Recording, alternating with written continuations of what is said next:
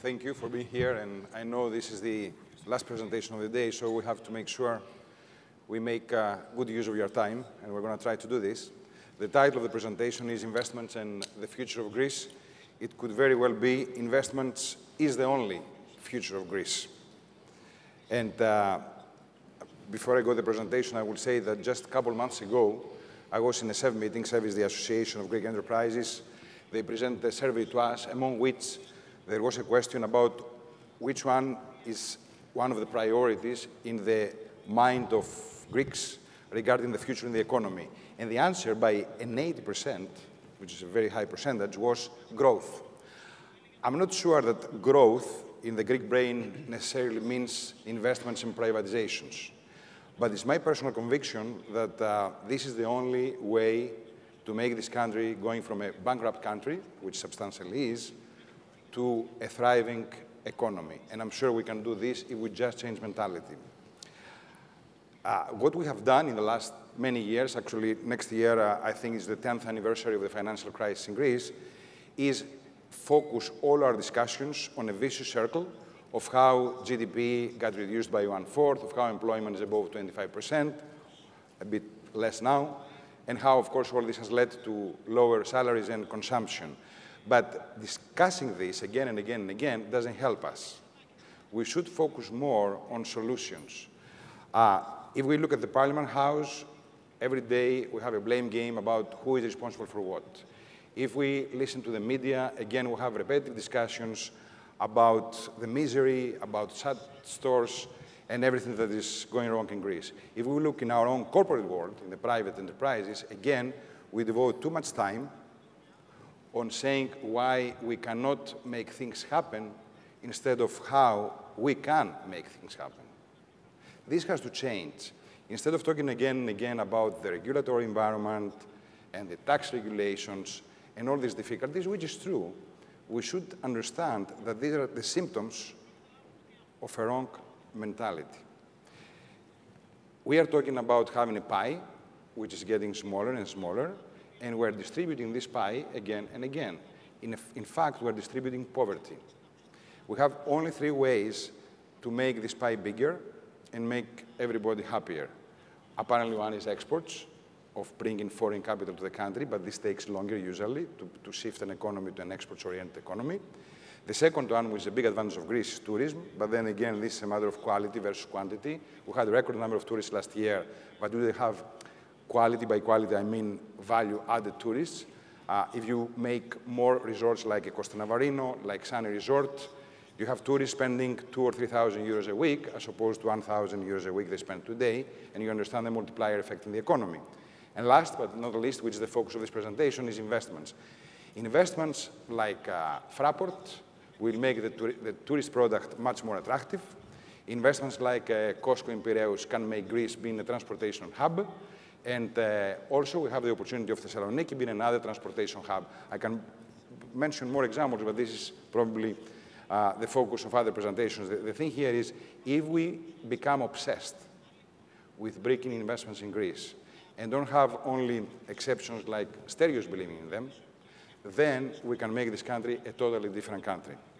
I'll give you some examples instead of talking too much theoretically about some examples that uh, we had in Greece and uh, in uh, our own company Lamda, and then some international examples on what investments can do to a country. Uh, first one is, this is the building of the International Broadcasting Center when we had Olympic Games in Greece in 2004, and uh, maintenance didn't exist, didn't produce any value.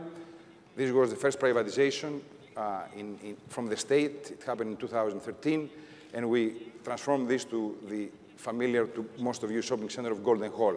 At the same time, we are ready to invest and make the first Olympic museum uh, in, in this center, and also create the first aquarium in Athens, which are also going to strengthen the touristic proposition we can offer. Now, for three years, we're trying to finish the permitting process and, and do these things. I'm sure it's going to happen. I'm more optimistic than ever that in the next months we're going to see some moves, and uh, this is one result of investments. Another example, this is how uh, a, an area in the north suburbs of Greece used to be a swamp. Apparently no value produced, no, job, no jobs created, and apparently no positive effect on the environment.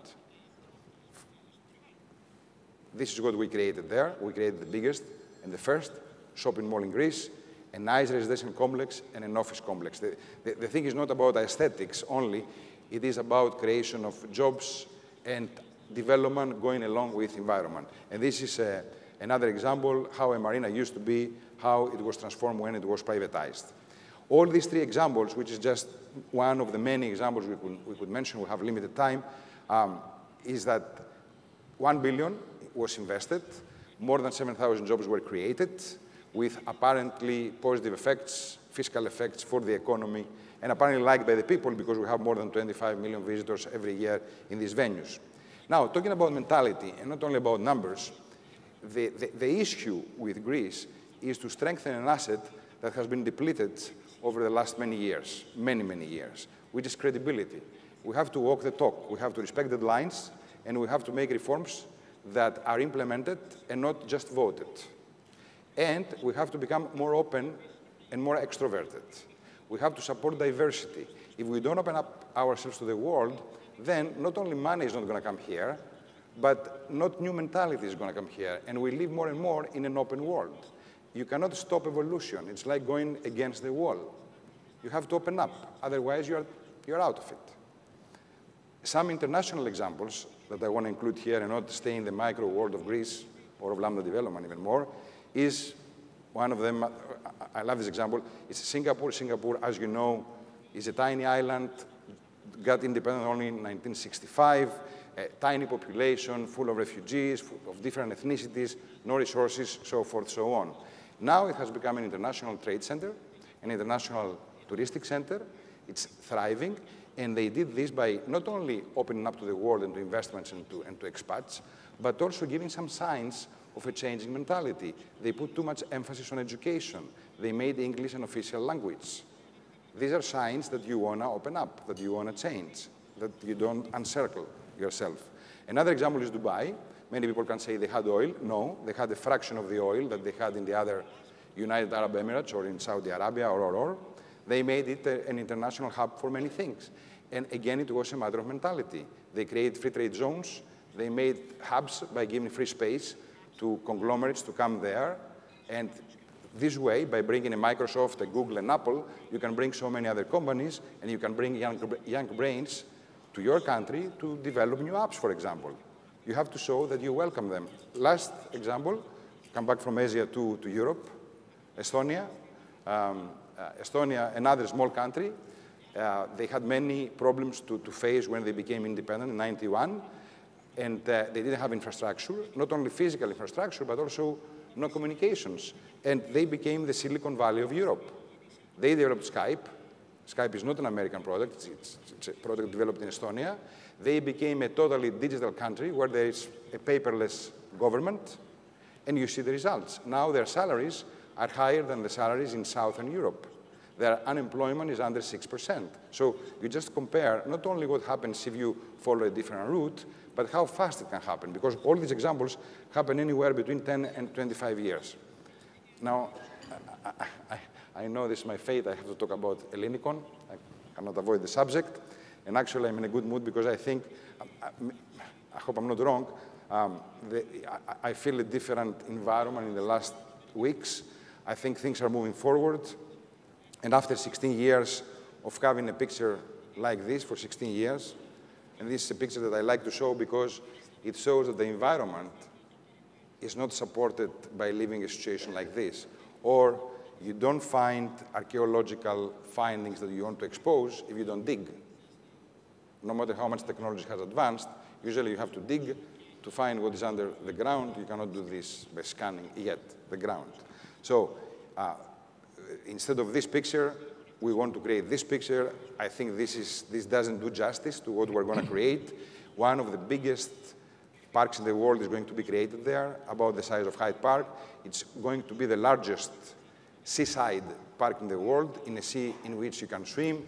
We're going to have 45 kilometers of pedestrian paths and cyclists. Can, I can, can say I, many... Can I interrupt you just a moment? Because this is precisely the picture that we saw perhaps 10 years ago, and you said there 16 years of zero contribution, right? So we saw the same the same picture, the same vision. What gives you optimism now that this can actually happen? First of all, I have to do justice because I like to be fair. This is not a picture you saw 10 years ago. Maybe this is a picture you saw two years Some, ago. Something similar, just, though. No, just to be, not to be. not, maybe not from you, but from we saw visions of the wonders think- of yeah. Ellinikon. The difference is that this Foster master plan for which we paid millions of euros. Okay. Just a vision. But what uh, yeah, makes me believe that this is going to happen is that uh, we gave to the applicable authorities the, the master plan with the associated studies, and I see that there is an air of change from the applicable authorities to make it move forward. I think that we have all realized in Greece uh, that we have to push things forward.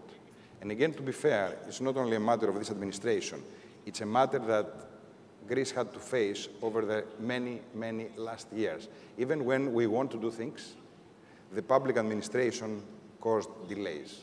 This has to change because this is the only way that we can create jobs. And uh, by saying this, I have only two more slides, not to take more of your time.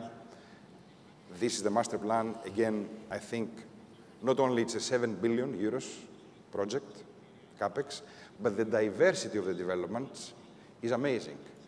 This could be the prime example of, of attracting not only foreign capital in terms of investments, but also operators of developments, also banks, and also developers. It has hotels, it has leisure, entertainment, it has university centers, medical centers, you name it.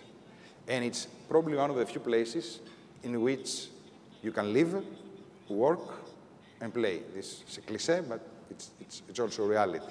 And the effect, some of the effects, again, we have shown them in the past. Uh, it's not, you know, when I look at this, uh, of course, the GDP effect is strong and the other multiplier effects. But if you think not only the jobs, which psychologically are going to have a huge effect in, in the Greek economy and in the Greek psychology of today, but look at the, uh, at the far uh, right corner, down, 1 million tourists based on conservative estimates.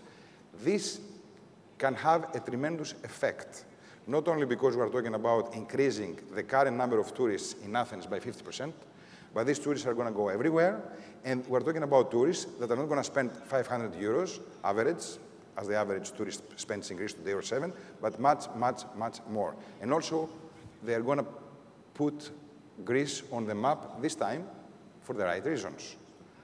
Uh, before I say the final thank you, I, I want to say that I believe it's a mentality issue in things. It's not only about investment, it's to open ourselves to the world and make everybody feel welcome here to work, to play, to have fun, and invest, and also enhance our mentality. Thank you very much.